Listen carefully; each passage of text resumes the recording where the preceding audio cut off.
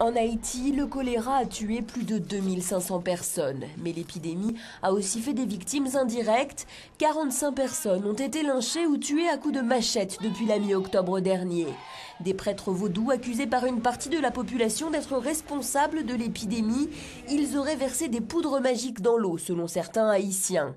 12 personnes ont été lynchées dans la ville de Jérémie, dans le sud-ouest d'Haïti, début décembre. L'épidémie venait de toucher cette région de l'île jusqu'alors préservée. Depuis, les violences se multiplient. Le chef suprême du vaudou haïtien a donc décidé de lancer un appel aux autorités. Il leur demande d'assumer leurs responsabilités et de mettre un terme au lynchage. Il rappelle également qu'en Haïti, le vaudou est pratiqué par une majorité de la population et qu'il est protégé par la Constitution. En novembre dernier, des émeutes avaient éclaté contre les troupes de l'ONU en Haïti, des troupes alors soupçonnées d'avoir importé le choléra sur l'île.